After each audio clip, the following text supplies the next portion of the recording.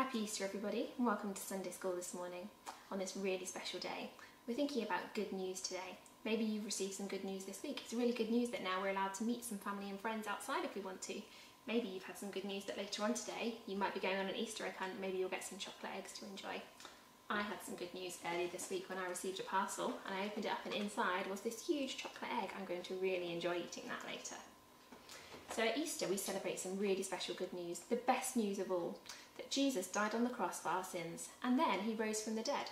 This is definitely good news that's worth sharing. This is the best news ever. Jesus died and rose again to show us how powerful he is.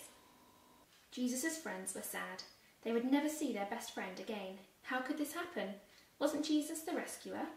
The king God had promised? It wasn't supposed to end like this. Yes, but who ever said anything about the end? Just before sunrise on the third day, God sent an earthquake and an angel from heaven. When the guards saw the angel, they fell down with fright. The angel rolled the huge stone away, sat on top of it, and waited. At the first glimmer of dawn, Mary Magdalene and other women headed to the tomb to wash Jesus' body. The early morning sun slanted through the ancient olive trees, drops of dew glittering on leaves and grasses like little tears everywhere. The friends walked quietly along the hilly path through the olive groves until they reached the tomb, and immediately noticed something odd. It was wide open. They peered through the opening into the dark tomb, but wait, Jesus' body was gone. And something else, a shining man was there with clothes made from lightning. Don't be scared, the angel said, but they couldn't help it. They screamed anyway. The angel asked, What are you doing here? This is a tomb, and tombs are for dead people. The women couldn't speak. Jesus isn't dead any more, he said. He's alive again. And their hearts leapt, and then the angel laughed with such gladness that they felt for a moment as if they had woken from a nightmare.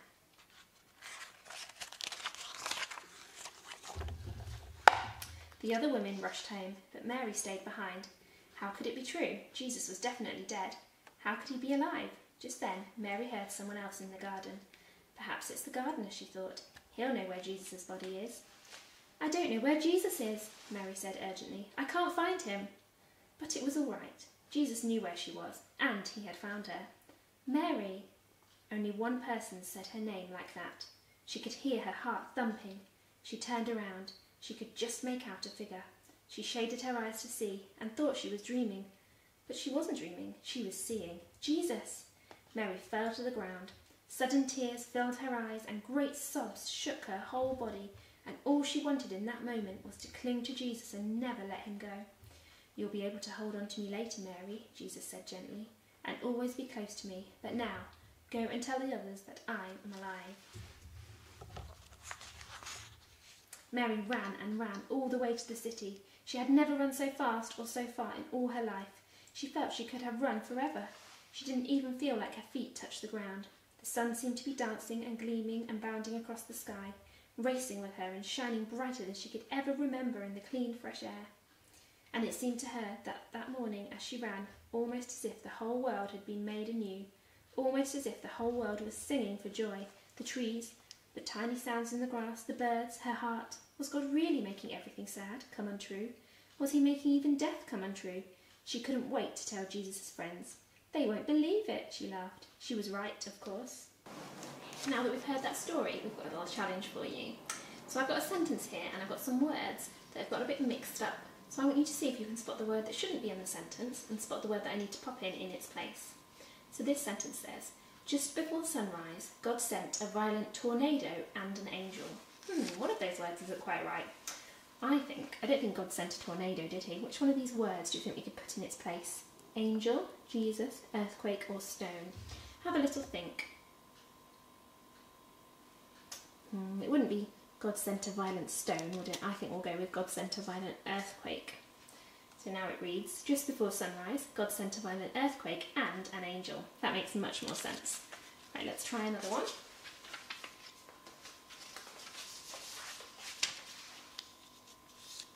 The cleaner told the woman not to be afraid. Is that right? Does that sound right to you? Hmm, who did tell the woman not to be afraid? It was an angel, wasn't it? So let's pop that word on there. Well done if you got that one right. Okay, next one. It's a little bit easier now, we've only got two words to choose from. The angel rolled the curtain away from the tomb. Did the angel roll the curtain away from the tomb? Did the angel roll Jesus away from the tomb, or did the angel roll the stone away from the tomb? Which one of those words would make sense in that sentence? It's the stone, isn't it? The angel rolled the stone away from the tomb. And the last one, the angel told the women that Moses had risen. I think we all know the answer to that one, didn't we? The story wasn't about Moses, it was about Jesus and how he rose from the dead. The angel told the best news there has ever been. Jesus was no longer in the tomb, he was alive. Jesus died and rose to show his power over sin and death, and that's great news for all of us. Happy Easter. So, why is this good news so important? Why does Jesus being alive again matter so much? Now, I've got some wonderfully drawn pictures to try and give you a hand. In the beginning, God and man were together. Everything was perfect exactly as it ought to be. But there was a problem. All the wrong things that we do, every bad thought, action, is sin. And this sin separates us from God because God is perfect. He can't be around anything bad like that. So that wonderful, perfect relationship is completely broken. And we, all as people, can't get to God. There's nothing we can do to deal with this sin. We can't get rid of it, we can't hide it, we can't break it. It's there and it spoils our perfect relationship with God. But God had a plan.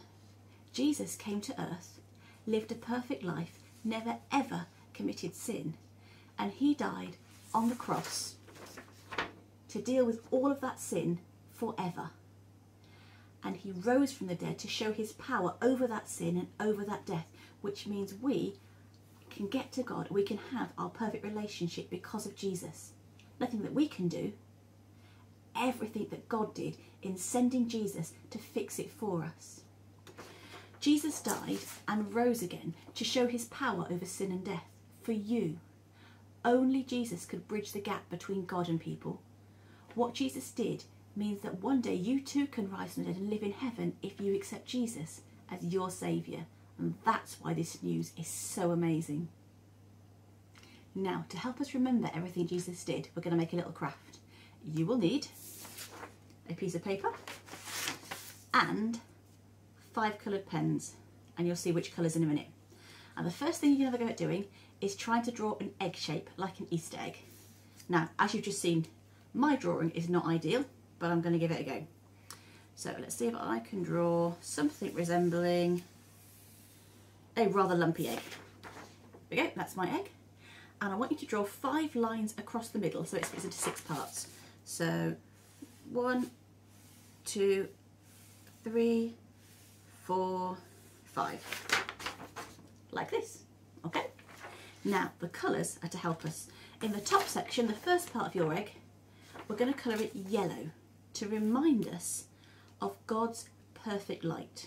Yep, nice, bright, sunshiny yellow to remind us of God's perfect light. If you want to make yours fancy and go for patterns and wonderful things, brilliant. I'm just trying to hope my pens hold out long enough to colour the top bit yellow. So I've got yellow for God's perfect light to remember how the story started. The next colour you need to find is red. I wonder what red's going to represent. I'll tell you. Red is for the blood that Jesus shed for us on the cross. Why Easter is so important. Red for the blood that paid for all of my sin, all of your sin, everybody's sin, to make us right with God forever. So when you see the red stripe on your egg, you can remember Jesus' blood. I'm just making sure my red comes out strong enough. And again, I'm doing mine quickly for the video. You can take as long as you like and make yours look really, really good. Okay, so I've got my yellow stripe for God's perfect light, red for Jesus' blood shed for us. Next one, I'm going to leave blank because I need white. White is for the cleansing of all our sin. It says what sometimes washed white as snow.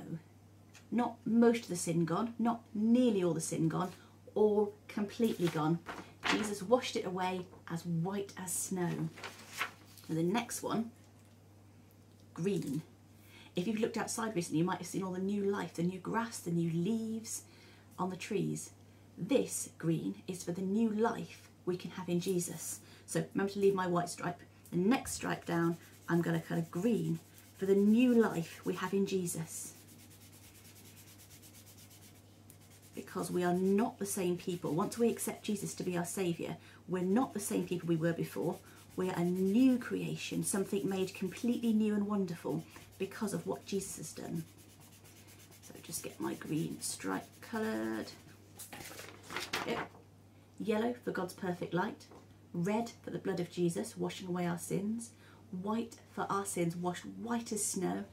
Green for the new life we have in Jesus. The next one, blue. I've only got dark blue left, I'm afraid, but you can do any shade of blue. Blue is for the water. When you choose Jesus as your king, one thing you might do is get baptized. And if you're baptized, it shows that you have changed. You're not the same inside as you were before. That you don't follow sin anymore, you follow Jesus. It shows the new life you've got. It shows we're alive in Jesus. Can I remember them? Yellow for God's perfect light, red for Jesus' blood shed for us, white for our sin washed away white as snow, green for the new life we have in Jesus, blue for the water of baptism to show we're alive in Jesus now. And the last one, purple, often used as a royal colour. The purple reminds us that Jesus is now king of our lives. He's the one that's in charge. He's the one we're going to follow, the one we're going to listen to, and he's the reason we're celebrating this Easter. So let me just colour in my purple stripe at the bottom, and there you have a lovely striped Easter egg with colours to help remind you. Let's see if I can do them all. Ready? Yellow for God's perfect light, red for Jesus' blood shed for us, white for our sins washed white as snow, green for new life in Jesus, blue for the waters of baptism because we're alive in Jesus now, and purple, the royal colour, to show that Jesus is King of our life. I hope if you make one of these, you can put it up somewhere and help remind you, not just at Easter, but all year round, why this is all so important. Jesus has beaten sin and death forever, and that is always worth celebrating. Happy Easter. See you soon.